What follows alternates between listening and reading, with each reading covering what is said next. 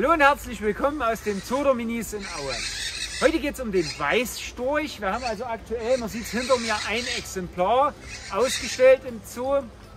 Und äh, Weißstörche sind ursprünglich einheimisch. Das heißt also, es ist durchaus auch möglich, dass Sie außer bei uns im Zoo in freier Natur mal einen Weißstorch fliegen sehen oder auch am Horst an seinem Nest.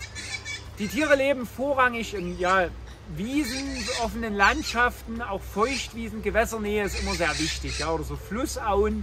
All das ist also idealer Lebensraum für den Weißstorch. Die Tiere ernähren sich nämlich von ja, Amphibien, Insekten, äh, auch mal Kleinsäuger, mal eine Maus, all das, was er halt fängt. Die sind sehr geschickt in der Jagd. Jetzt habe ich es ja schon erwähnt, die haben also einen Horst, ein sehr großes Nest, oftmals in Menschennähe, denn Weißstörche sind Kulturfolger. Und äh, das heißt also, ja, die haben sich die Vorzüge der menschlichen Nähe zunutze gemacht. Die brüten oftmals dort, wo auch Menschen sind, weil sie wissen, dort gibt es auch immer was zu essen. Seien es zum Beispiel Mäuse. Ja, und wenn die dann brüten, die kommen im Frühjahr bei uns in Deutschland an, dann äh, kommt meistens zuerst der Hahn ans Nest, der baut dann schon mal ein bisschen dran rum.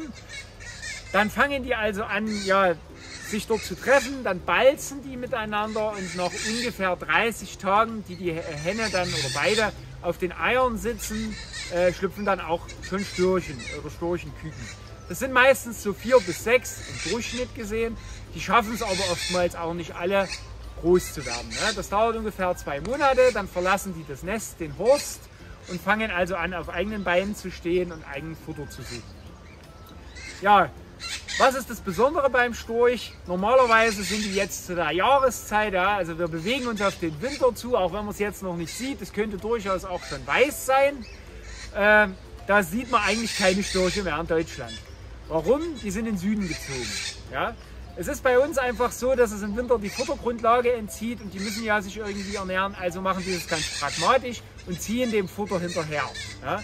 Insekten im Winter findet man bei uns nicht. Man hat schon mal einen Frosch über eine geschlossene Schneedecke hüpfen sehen. All das passiert nicht.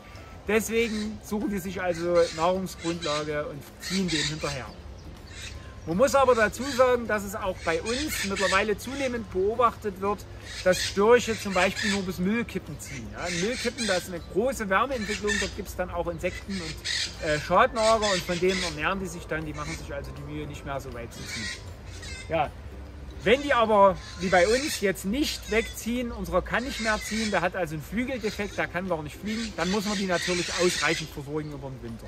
Ansonsten macht den Schnee gar nicht so viel aus.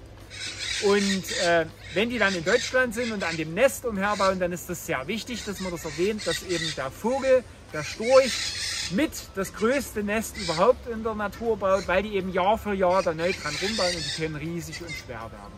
Ja, Unserer, wie gesagt, baut nicht am Nest rum. Wir werden aber nächstes Jahr mal ein ja, Wagenrad aufstellen. Vielleicht entscheidet er sich ja doch mal so ein bisschen ein Nest zu bauen zumindest.